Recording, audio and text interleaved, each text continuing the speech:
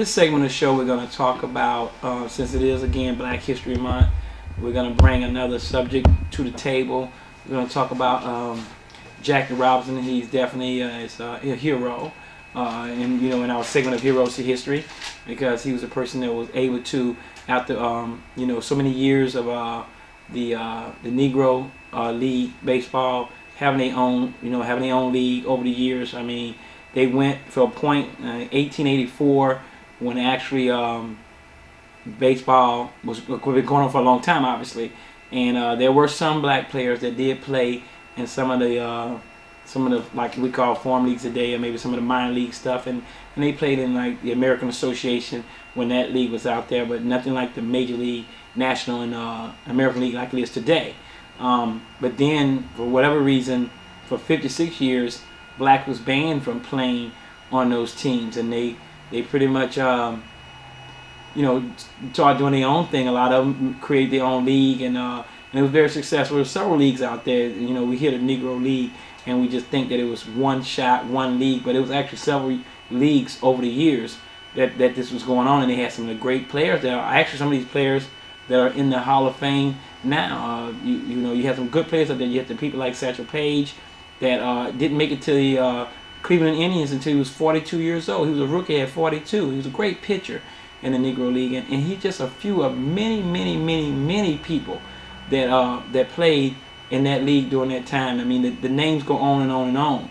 And uh, so when Jackie Robinson comes aboard, you know, and get um, and wound up getting drafted by uh, the uh, the Dodgers in, in uh, I think it was 1946, and uh, became the first black player uh, drafted by the Dodgers. But right behind him, uh, another player, Larry Doby, he uh, went to the Cleveland Indians, where he played for a while. And then um, 1947, Jack Robinson um, won um, Rookie of the Year. So he proven to be a great baseball player, obviously uh, was able, like I said again, to penetrate that color barrier.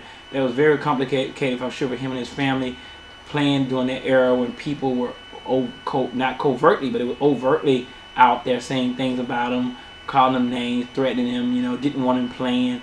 Uh, you know, baseball with, with an all-white team at that time in some cases.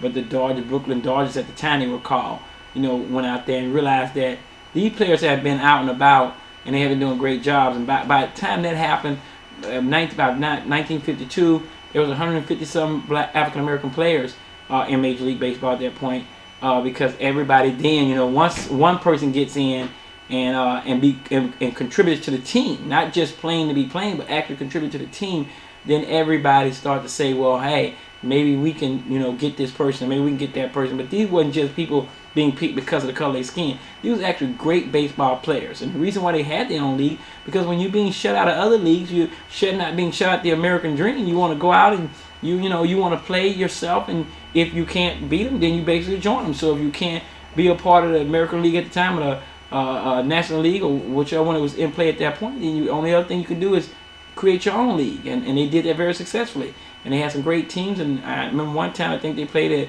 uh, at one of the parks where they had over 20,000 people there uh, watching their games, and um, that made a big difference. So, but Jackie Robinson breaking the color barrier is a big deal for me. Uh, I'm sure it was for a lot of people that, that enjoy sports and realize how did African Americans in a whole uh, get into uh, Major League Baseball as an organized uh, league and, and play baseball. I know a lot of people think that Jack Robinson was the first one that played in any baseball game that that that was that was had that was okay was had white players in it, but he wasn't because it's back as far back like I said is 1884. Uh, there were people that was uh, doing some a little bit of integrating, but then that all of a sudden came to a, halt. And for 56 years, they weren't no African Americans allowed to integrate any baseball with any uh, white teams or players at that point until, uh, like I said, Jackie Robinson came along and and at, during the time when people had their own league and eventually it became well known that these some of these teams were playing. They was they were playing. They was willing to play. They played even against some of the uh, Cincinnati Reds from time. They was willing to go out and show their skills and show that they wasn't just a bunch of black people running around in in the baseball down, but that they actually had skills. They could pitch. They could catch. They could throw. They could do other things. So uh, Jackie Robinson is definitely a hero because every time you got somebody that's the pioneer. Uh, uh, as we know it, in, in, in, in, this era we talking about, we talking about in a, in a different era. So um, Jack Robinson is the, is the person of the, of the uh, month for me as far as from uh, heroes to history.